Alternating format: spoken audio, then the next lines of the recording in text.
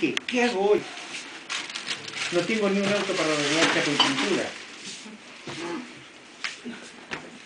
Y ahí nomás busqué la cosa y me fui.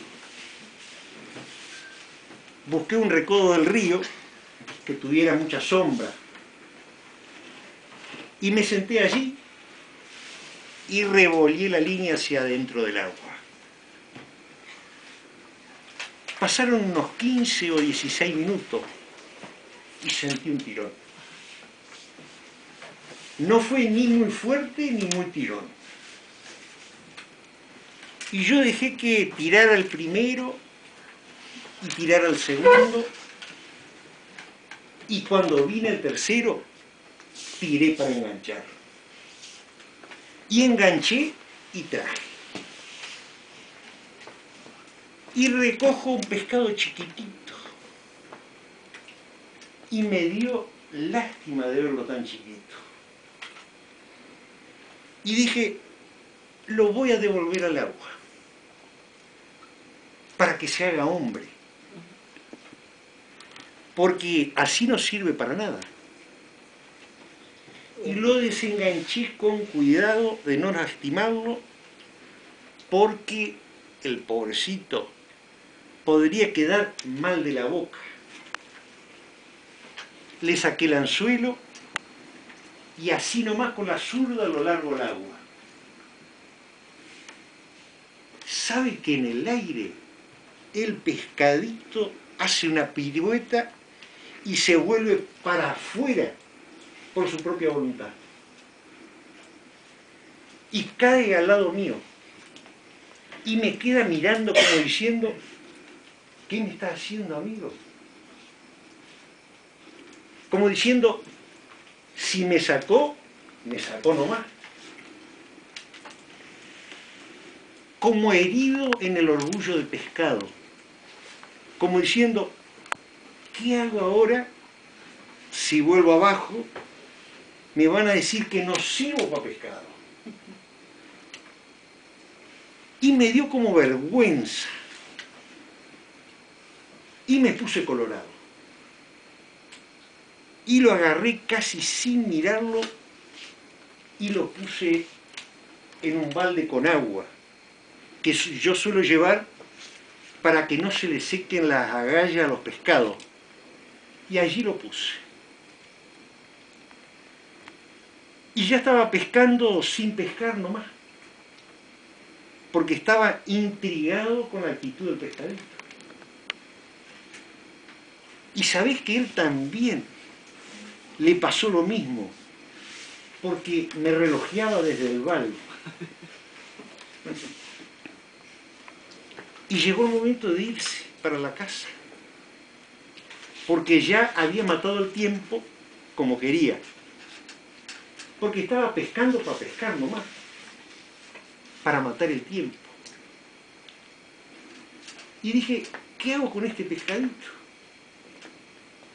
Al río no quiere volver, matar no lo voy a matar, es un crimen matar un pescado tan chico. Y entonces resolví llevarlo a la casa. Y lo entré a criar en la casa. Al rato en el juentón donde está la palangana, y lo iba cambiando de acuerdo al tamaño de su crecimiento.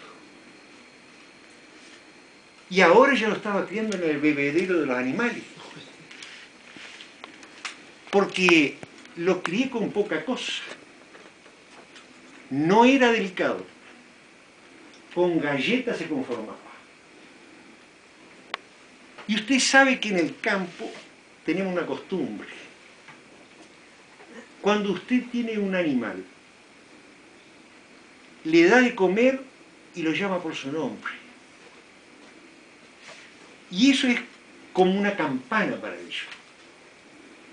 Porque usted sabe que con la comida, él sabe que es él. Y le puse de nombre Pancho. Y le decía, Pancho, desde la cocina. Y él sacaba la cabeza y yo le tiraba una galleta. Y él la cazaba en el aire. Y ya estaba tremendo el pescado. Y estaba en el bebedero porque no entraba en otro lugar. Y un día estaba tomando mate sentado en la cocina, en la sillita baja, y siento un revuelo en el patio. Salgo a ver el pescado corriendo los pollos. Y fui y le dije, no, Pancho, eso no. Usted es pescado, hermano. Hágame el favor. Y lo largué para el agua. De un modo tal, y me miró diciendo, ufa. Porque le mentiría si le diría que no tenía carácter. Porque tenía su carácter el Pancho.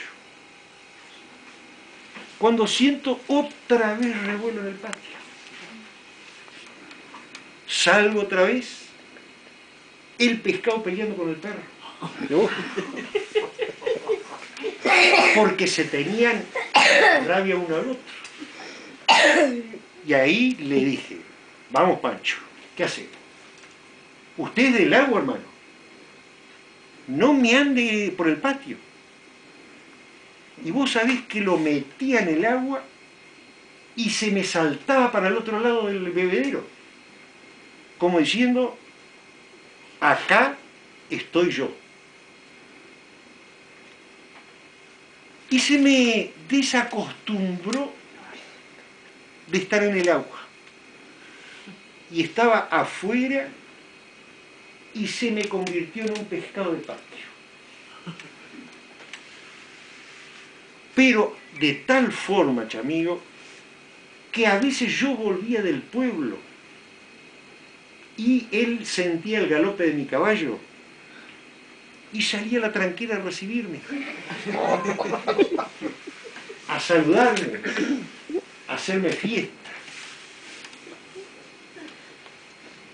Eh, y el perro le tenía una envidia al Pancho, porque para colmo, cuando el pescado se aquerenció estar afuera, cuando yo me sentaba tranquilo a tomar mate en la galería, él se arrimaba y empezaba a jugar con mi alpargata. Y se ponía cariñoso. Y yo le pasaba la mano como si fuera un perro guachito. Y el sultán con una bronca del pancho. Un día me acuerdo como si fuera hasta el día de hoy, un calor de eso. Y entonces le dije al pescado, porque yo le hablaba, dice, che Pancho, está calentito el día. ¿Qué le parece si vamos al arroyo y nos pegamos una remojada? Y él me miró con una cara de agradecido, que me conmovió. Y nos fuimos los dos al río. El sultán nos seguía de lejos, a unos 50 metros, con una bronca ese perro. Y llegamos a la orilla del arroyo en la parte más honda del río. Y me quedó mirando como diciéndome, no se va a sacar la ropa, chamigo. Y me saqué la ropa nomás. Y le dije, Pancho, a la cuenta de tres, nos largamos los dos juntos al río. Y adivine qué pasó. Se me ahogó. y colorín colorado,